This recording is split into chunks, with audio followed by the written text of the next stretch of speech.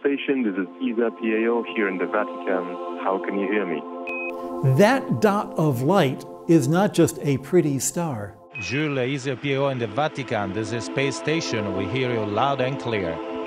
I can see in the sky things that are beautiful and familiar and have a history and smile at me and remind me that God makes good things. It's one small step for man, one giant leap for mankind. This call to try to understand the universe is a divine call. That is the basis on which we have the courage to be scientists.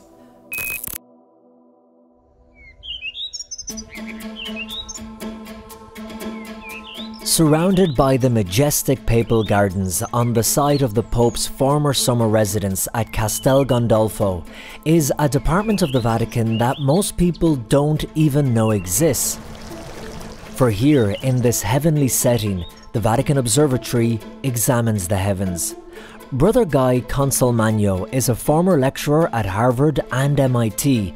Now a Jesuit, he is the director of the Vatican Observatory. We've got 12 astronomers, most of them Jesuits. There are a couple of uh, diocesan priests who work with us. And we all have doctorates from different universities from around the world. We come from four continents.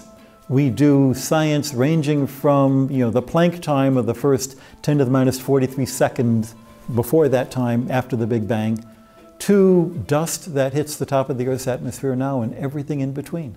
And it's not just here at Castel Gandolfo. Across the Atlantic Ocean in Arizona in the United States, the Vatican purchased this state-of-the-art telescope where priests and brothers with degrees in the sciences, math and engineering capture awe-inspiring images like these. Why does the Vatican have an astronomical observatory? Don't you think every major religion should support astronomy? The answer is deeper than that, of course. In 1891, Pope Leo XIII deliberately established a Vatican observatory. Astronomy was a field that the Vatican already had a really strong international reputation. And this was to show the world that the Church was not against science, and also to show the world that the Vatican was a nation with a national observatory. So it was part scientific and part political. As most of these things are the thing that, you know, the reason we continue to have a Vatican Observatory is to continue to remind the peoples in the pew that we are not anti-science, that the church not only supports science, but the church is mother of science in many ways, because science began in the universities. In the observatory's headquarters, there is a museum documenting the Vatican's contribution to science and astronomy dating back as far as 1582 and the Gregorian reform of the calendar. This is the first telescope that the observatory got in 1891, and it was installed in a little dome on the Tower of the Winds. So this was back in Vatican City, and in fact, the first telescopes were on the walls of the Vatican City. We didn't move out here until the 1930s. The museum is a treasure trove of a part of Vatican history that is widely unknown, like the story of the Sisters of the Child Mary, who helped map and catalogue nearly half a million stars in the late 1800s. We developed a laboratory to measure the spectra of pure metals the observatory also has one of the major collections of meteorites in the world, with over a thousand pieces from the depths of space. I get to have my hands on pieces of outer space, and that never stops being a thrill.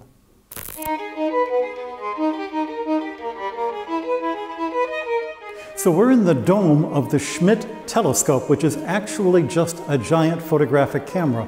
And it was the final telescope installed here at the Vatican. It was put in here in the late 50s. And Pope Pius XII personally bought this telescope out of his family funds, not Vatican funds. Another incredible piece of history about this room, it is where Pope Paul VI spoke to the astronauts. The Apollo astronauts on the moon. Wow. He was standing, actually sitting, exactly right where you are. First, a blessing in Latin, and then a message to the astronauts in English, referring to uh, the moon as the, the pale goddess of our dreams. Wow. It was beautiful, it was poetic. Pope Paul VI is speaking to you, astronauts. Greetings and blessing to you, conquerors of the moon. And it was a moment that showed just how dedicated the church is to being in tune with the science and the technology of the times. And 240,000 miles from Earth, on board the Apollo spacecraft, the astronauts had brought a small flag of Vatican City. It was a beautiful, beautiful moment. Brother Guy is from Detroit, Michigan, and entered school in 1957, the same year the Russians launched their first satellite. You're unique. You're probably one of the only people in the world who is wearing a Roman collar and an MIT ring. So let's go back. You grew up in Michigan, in the United States of America. Were you always interested in science? I know you call yourself a Sputnik kid. I started kindergarten the year that Sputnik went up. 1957. 1957. I was, uh, you know, going to grade school when someone would bring in a portable television, which was, you know, bigger than I am now, so we could watch the launches of the Mercury and the Gemini capsules. How could you not be fascinated with science? I grew up in a time when anything was possible. Very fine grained as you get close to it. It's almost like a powder.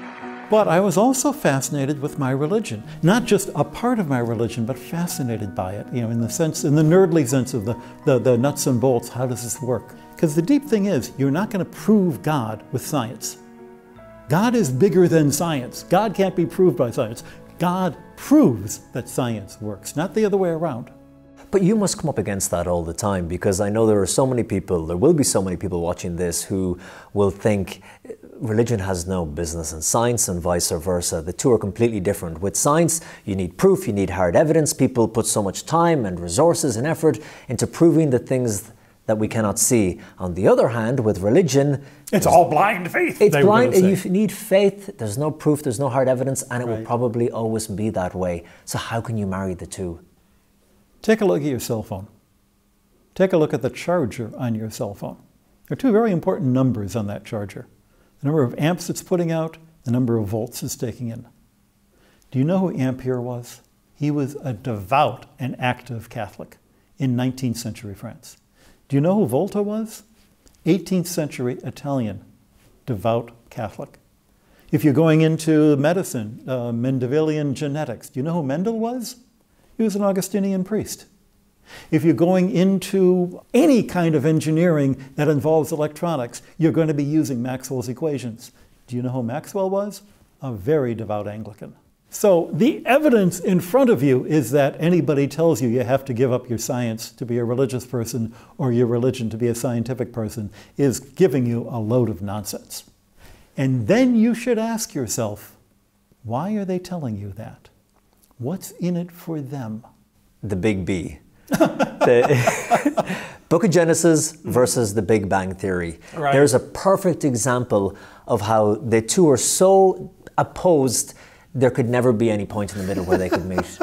How can you be a oh man of both? I'll start off by reminding you that the Big Bang Theory was devised by a Catholic priest Georges Lemaitre. And it was opposed by a lot of astronomers in his day because they thought it was too close to the idea of creation. But Genesis is not a book of science. Genesis is a book about God. And everything it says about God is not only still true, but now that we know more about how the universe is created, it's even more important and more true than the poor guy who wrote Genesis could ever have believed. And do you believe written in a poetic way deliberately in order to make it timeless? It had to be written in a poetic way because the science keeps changing. You know, God couldn't say, and then I had a big bang because 100 years ago people would have said, What were you talking about? And a thousand years from now, the Big Bang is going to look, you know, kind of naive, I hope. It has to be spoken in poetry. What do you think are the advantages of being a scientist who has faith? The biggest advantage is it keeps you centered on why you're doing this. Science should be for the glory of God. And what I mean is it should be fun, because joy is the glory of God. Joy is evidence of God's presence. And joy only comes when you approach the truth. How has your scientific work over the decades changed your faith? My scientific work has made me recognize the joy that comes from being close to God. My scientific work has made me recognize the necessity of church. I can't just find God on my own. Brother Guy Consolmagno's list of achievements and accolades is too long to mention, and his work as a Vatican astronomer has brought him close to three popes, like Pope John Paul II, a young Brother Guy on the right, pictured with the saint in 1995, and Pope Benedict, who was filled with questions about meteorites, and of course, Pope Francis, who continues to support the work of the observatory today. But for Brother Guy, what really makes his work special is something deeper and more personal. My father lived to be 100, my mom to 97. Um, both of them were tremendous role models to me. Uh, I was very close to my father in so many ways. He wanted to be an astronomer, but you know, in, in the Depression, that wasn't going to happen. Would he look at the stars at night with you? My father knew the stars. Um, he had learned them as a kid, and then he was a navigator with the Army Air Corps during World War II. So the stars were both a source of pleasure, but also a very important part of very deadly business. Do you think about him now when you peer through the telescope? Sometimes? All the time. All the time I think of him. And there's not a week goes by when there isn't something that I want to tell him about. Something that I know he'd be really, you know, delighted to hear about. What did he think of the work you were doing? I hope he was proud, not that I was at the Vatican or knew the popes or whatever, he enjoyed that, but just that I was able to do the astronomy that he'd always wanted to do.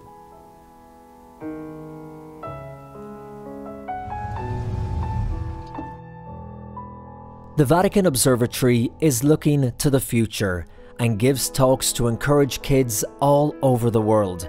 And they also run an annual summer school here at the observatory for students of astronomy from every continent and from all backgrounds, many of whom have gone on to work for NASA and space agencies all over the world.